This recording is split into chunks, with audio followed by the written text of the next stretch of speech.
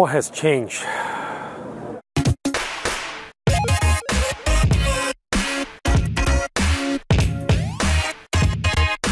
People are more used to uh, new memes.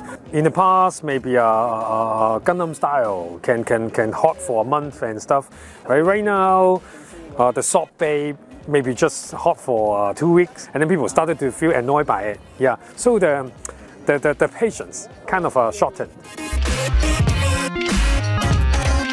When a meme got mainstream, uh, the traditional media they would talk about it, and then uh, somehow people feel like they get overused. Yeah, I think that's unavoidable when when social media is so connected, when people are so connected. Yeah.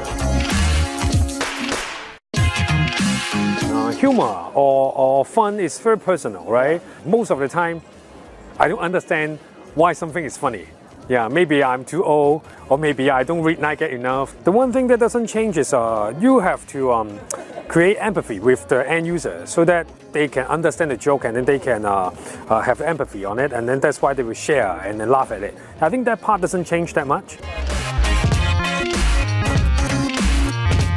Yeah, of course, yeah we want get to be, I don't know, 99 years old.